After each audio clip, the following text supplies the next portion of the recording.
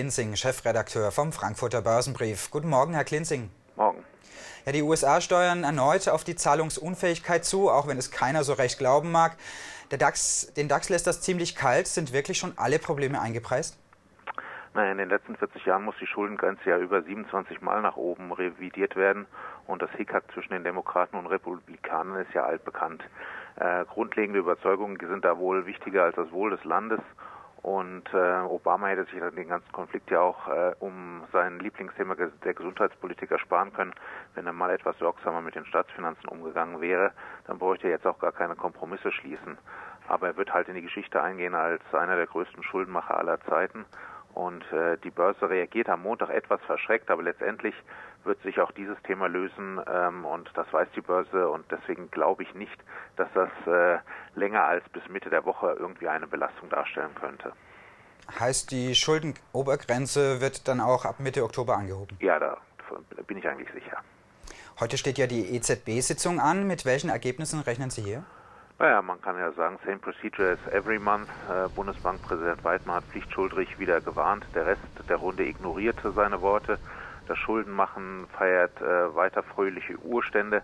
Also ich denke, dass man ähm, weiterhin einen äh, sehr defensiven Kurs fahren wird. Auch wenn es äh, klare Signale Erholung gibt, beispielsweise in Spanien, ähm, wird das äh, den Markt nicht groß beeinflussen. Jetzt kamen auch frisch Autoabsatzzahlen aus den USA. Das sind die Zahlen aus äh, heute sind die Zahlen aus Deutschland ja. dran. Wie bewerten Sie denn das Ergebnis? Ja, äh, insgesamt ganz gut. Enttäuschend war eigentlich ja nur ähm, VW, ähm, die nicht so äh, besonders äh, nicht so besonders äh, gut verkauft haben in den USA. Ähm, die anderen großen Hersteller Porsche, BMW oder auch die VW-Tochter Audi haben ja weiter ganz gut äh, zugelegt. Insgesamt äh, muss man ja sagen, ähm, ist ein bisschen die Luft raus bei den äh, sehr guten Verkäufen, die VW in den letzten äh, drei Jahren gemacht hat, haben ja ihr Volumen ungefähr verdoppelt. Aber insgesamt äh, bin ich weiterhin optimistisch für den nicht nur US-amerikanischen Markt, sondern für den ganzen Kontinent. Südamerika gibt ja auch gerade ähm, besonders Gas. Also da muss man sich wegen einem Monat keine großen Sorgen machen. Für die deutschen Autobauer ist äh, das Geschäft jenseits des Atlantiks nach wie vor ganz ausgezeichnet. Ähm, Europa wird weiter schwächeln, davon muss man leider ausgehen, auch noch äh, bis Jahresende. Da wird sich erstmal nichts daran ändern, da wird vielleicht mal ein bisschen mehr, ein bisschen weniger äh, verkauft werden, aber insgesamt äh, wird das Geschäft weit außerhalb Europas gemacht. Wenn wir jetzt auf die Aktien der deutschen Autobauer schauen, wer hat da Ihrer Meinung nach die Nase vorn?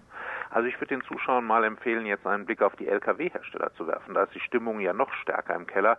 Ist ja kein Wunder, die Absatzzahlen gingen ja zuletzt um wieder vier Prozent zurück. Aber die Auftragsbücher, die füllen sich langsam mehr und mehr.